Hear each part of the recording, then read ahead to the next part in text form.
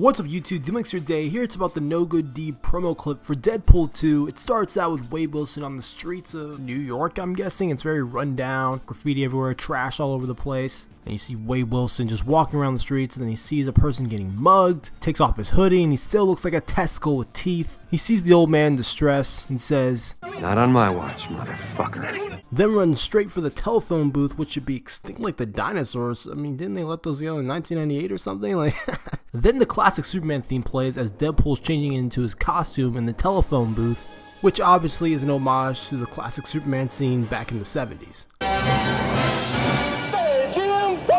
Excuse me. He's having a hard time changing to his costume. He's got his buck cheeks to the glass. The old man is still screaming for help. Also, if you notice the theater in the left hand corner, it's actually playing the movie Logan, which is a great movie. Definitely recommend you guys go check it out. It's probably one of the best X Men movies ever made. I'm definitely going to have a review on that movie later this week, so definitely go check it out. And right before Deadpool finishes his costume, here's a gun. So he sprints out there, but then there's Stan Lee saying, Nice suit. Zip it, Stan Lee.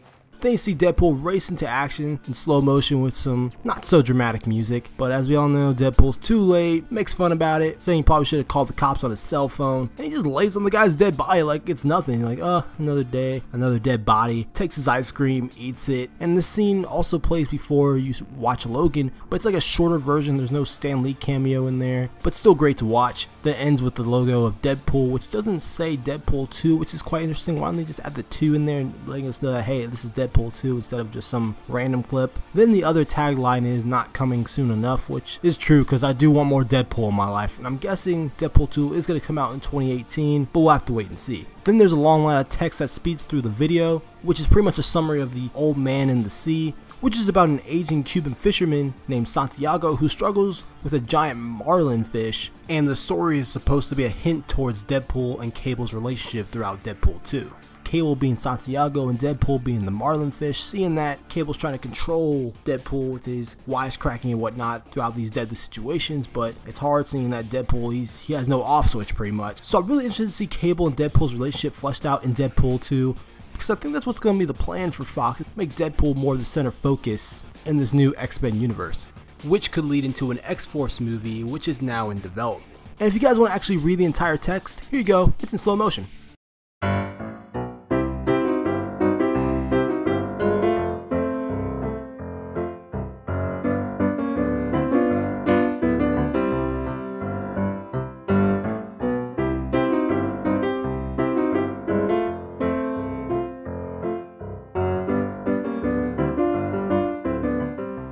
So let me just think in the comments down below about this promo clip for Deadpool 2. Are you guys excited for this movie? Like and subscribe for more content of me on Deadpool and other X-Men films in general. I'm DMLX. I'll see you in the future.